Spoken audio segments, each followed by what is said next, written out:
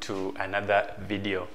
Uh, we want to look at the integration by partial uh, fraction. And the question, uh, we have a very simple one, uh, one uh, the integral of 1 x squared minus 4 uh, change of x. So this is just an example that we want to look at so that when we uh, when you're given such equation, uh, you make sure that you follow the procedure that uh, uh, we want to look at it. Uh, so let's look at the solution. But before we look at the solution, I want us to remind ourselves on something else here. Now, if you have a fraction, for example, if you have 1 over 5 plus 1 over 4, then if you combine these, uh, if you combine the two, then we normally find the, uh, the LCM of 5 and 4, which is 20. Then this one goes here uh, 4 times plus 5. And we find this is 9 over 20. So in a partial fraction, that means we have a single fraction, then we want to decompose it into two different, different parts. So that means now we have a single fraction, then we go back so that we can decompose, decompose it into two fractions. Yeah, so that is now what we want to apply here. Mm, so we have the integral 1 over x squared minus 4, changing x. So the first thing is to decompose this one. Uh, but before we look at this, uh, if you're watching us, make sure that you subscribe to this channel so that the next time we produce a wonderful video just like the one you want to watch, then YouTube will automatically notify you. Let's go back here. So the first step when you're given such equation is to decompose. Make sure that you break uh, this one into two. And you know, whatever we have there, which is x squared minus 4, is the difference of two squares. Difference of two squares.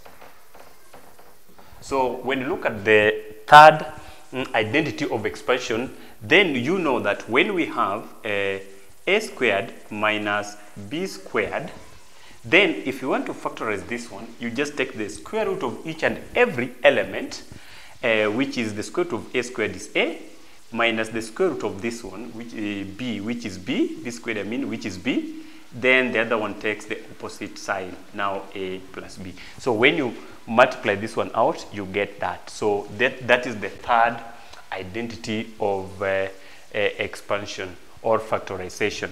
So that is now what we want to do here. So that means here we have the integral of 1 over let's factorize that. That is x uh, minus 2. Then the other one, just take the opposite sign, change x. So the second step here is to now put break this one and we break it into two. So this means that I can say a over x squared uh, minus 2 plus b uh, x plus 2. So you can break it with that when you have a linear factor. This is a linear factor, this is a linear factor, that is a linear factor. And when you multiply out, you get a quadratic factor. For example, if you have a quadratic factor, for example, uh, x squared uh, plus 4, that's a quadratic factor. If you want to break it, then you're supposed to give it uh, 2 unknown for ax plus b. So you the coefficients of x squared, x must be there, then another constant if you have a quadratic uh, factor. But if you have the linear factor, you just break it the way we've done it there. Uh -huh. So what can we do now here? Uh, this is actually you can integral of that each and every then we so let's proceed here. So we have 1 over x minus 2, x plus 2. This one is equal to a over x minus 2 plus b, x plus 2. So we can just omit the x, then we shall put it later. So for us to get, we want now to, to find a and b. So for us to get a and b, then we're going to multiply by this uh, LCM, which is our uh, this x squared my, um, uh, x minus 2 into bracket x plus 2. We multiply everything by this. So let's multiply by x minus 2, x plus 2. So when we both sides, even this side, so this one will go there 1, so we have 1 is equal to, so x minus 2 goes there, x plus 2 times, we multiply by a, then we have a into x plus 2 plus uh, this one goes there, x minus 2 times, then you multiply by b, which is b x minus 2. I hope you're following, guys. Then this is now what we want. But now, we for us to get, we have the two unknown values in one equation. So if we have the two uh, uh, unknown with one uh, two equations, then we can use simultaneous. But now here we have the two unknown with only one equation. So I'll say, I'll make sure that I'll omit, I'll make sure that uh, uh, I put a value which is going to uh, make A or B to disappear, to be equal to 0. So that means if I put this x here to be 2 or negative 2, uh, or if I put x to be 2, then I'm going to eliminate b. You see? Uh, I can eliminate b. So say let x to be 2. So that is going to be 1 minus a into x which is now 2 plus 2 plus b into x which is 2 minus 2. So we have 1 is equal to, this is 4a, which is equal to 0 because b 2 minus 2 is 0, multiply b is 0. So that means a is equal to a quarter. Now the second one, the second one is again if I put if I put x to be negative 2, so I'm going to eliminate a. So again let uh, let x to be negative 2. When we put x to be negative 2, then it's going to be 1 is equal to a, a into negative 2 plus 2 plus b to negative 2 negative 2.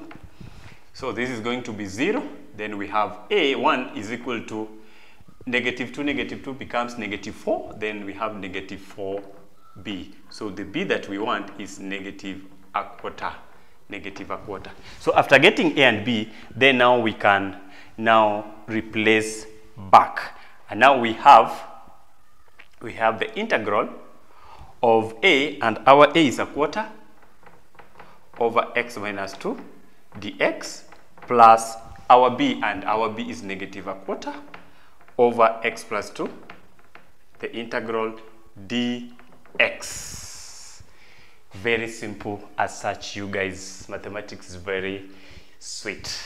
So uh, since now we know that the integral of 1 over is the natural log so that means I can take this negative uh, a fraction outside and then then it becomes a quarter integral of 1 over x minus 2 change in x.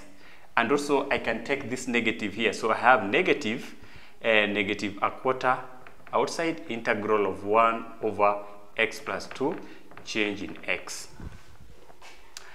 But let's remind ourselves again something here you guys that if you have uh, the integral the integral of natural log of x I mean uh, 1 over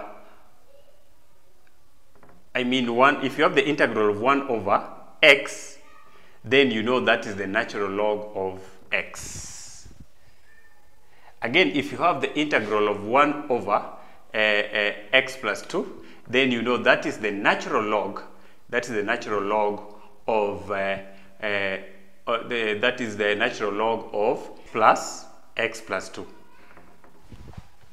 but let's look at this. If you have integral uh, of 1 over 2x plus 3 for example you guys.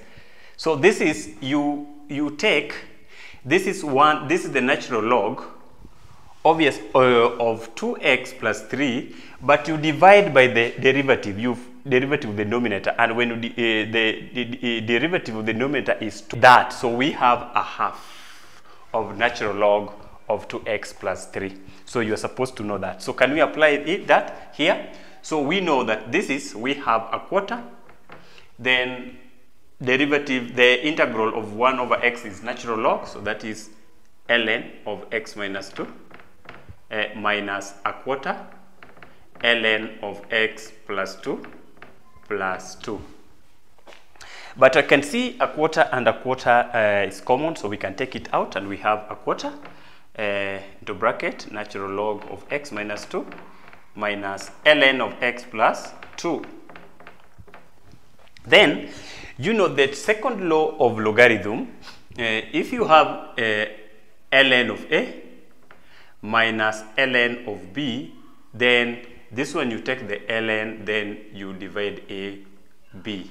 That is the law of logs. So that's now what I can uh, apply there and I have a quarter uh, into bracket the ln of x minus 2 over x plus plus 2.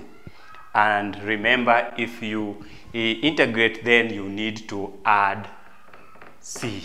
You need to add c when you integrate. So this is the integral.